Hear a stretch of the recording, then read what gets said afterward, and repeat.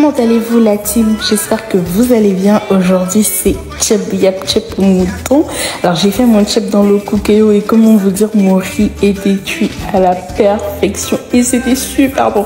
Donc dans une huile chaude j'ai commencé par ajouter du sel, ensuite ma viande j'ai laissé frire, j'ai retiré la viande et par la suite j'ai rajouté oignon, euh, piment vert et le yet. J'ai laissé roussir très bien. J'ai mis une cuillère à soupe de nocos et c'est très important que vos oignons soient limite cramés. C'est ce qui va donner une très belle couleur à votre chip.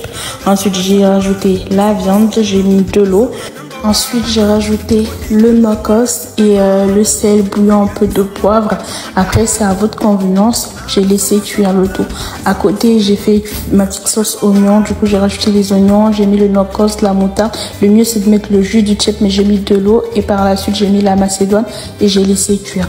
Donc, une fois la viande bien cuite, j'ai retiré la viande et par la suite, j'ai rajouté mon riz préalablement pré-cuit au micro-ondes. C'est important que le riz et la sauce soient à peu près au même niveau. Et regardez-moi ce riz, comment il est magnifique et très bien cuit.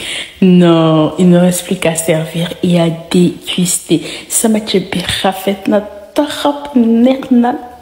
Vraiment, c'était un délice. On s'est bien régalé. Donc voilà, gros bisous. Bye.